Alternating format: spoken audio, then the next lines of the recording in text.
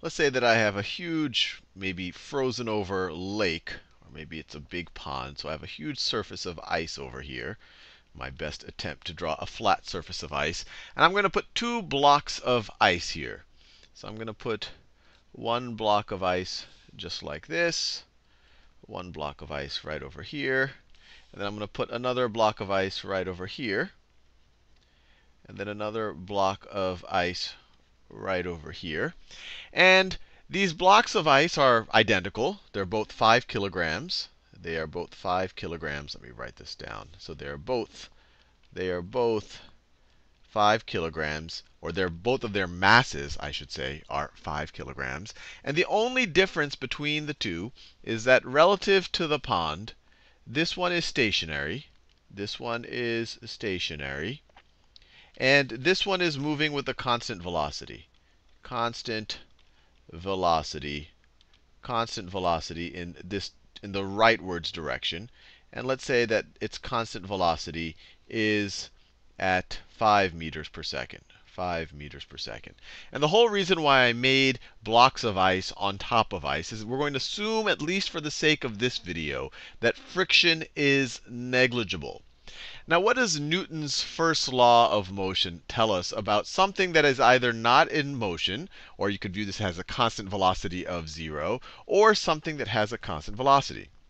Well, Newton's first law says, well, look, they're going to be at they're either going to they're going to keep their constant velocity or stay stationary, which is a constant velocity of 0, unless there is some unbalance, unless there is some net force acting on an object.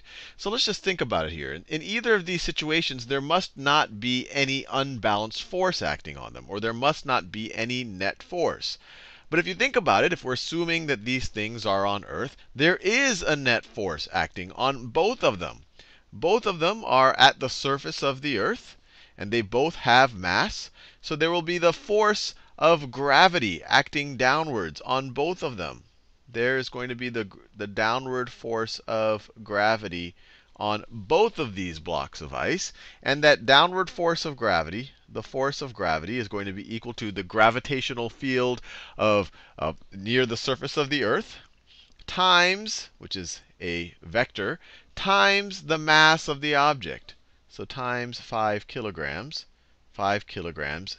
This right over here is 9.8 9.8 meters per second squared. So you multiply that times 5, you get 49 kilogram meter per second squared, which is the same thing as 49 newtons. So this is a little bit of a conundrum here. Newton's, Newton's first law says an object at rest will stay at rest, or an object at motion will stay in motion, unless there is some unbalanced or unless there's some net force. But based on what we've drawn right here, it looks like it looks like there's some type of a net force. It looks like I have 49 newtons of force pulling this thing downwards. But you say, no, no, no, Sal. It, you know, obviously, obviously this thing won't start accelerating downwards because there's ice here. It's resting, it's resting on a big on a big pool of frozen water. And so my answer to you is, well, if that's your answer, then what is the what is the resulting force that cancels out that cancels out with gravity to keep these blocks of ice, either one of them, from plummeting down to the uh, core of the Earth, from falling, to, for, from essentially get, going into free fall or accelerating towards the center of the Earth. And you say, well, I guess if these things are, if if if these things would be falling if not for the ice, the ice must be providing the counteracting force. And you are absolutely correct. The ice is providing the counteracting force in the opposite direction. So the exact magnitude of force, and it is in the opposite direction. And so if the, if the force of gravity on each of these blocks of ice are 49 newtons downward, 49 newtons downward. It is completely netted off by the force of the ice on the block upwards. And that will be a force of 49 newtons upwards in either case. And now, hopefully, it makes sense that Newton's first law still holds. We have no net force on this in the vertical direction. Actually, no net force on this in either direction. That's why they have a constant velocity. This guy has a zero velocity in the horizontal direction. This guy has a constant velocity in the horizontal direction. And neither of them are accelerating in the vertical direction. Because you have the force of the ice on the block, the ice supporting the block, that's completely counteracting gravity. And this force in this example is called the normal force. This is the normal force. It's 49 newtons upwards. This right here is the normal force. And we'll talk more about the normal force in future videos. The normal force is the force when anything is resting on any surface that's perpendicular to that surface. And it's going to start to matter a lot when we start thinking about friction and all the rest. So what we'll see in future videos, when you have something on an incline, and let's say I have a block on an incline like this, the normal force from the, I guess you could say this wedge on the block is going to be perpendicular is going to be perpendicular to the surface. And if you really think about what's happening here, it's fundamentally an electromagnetic force.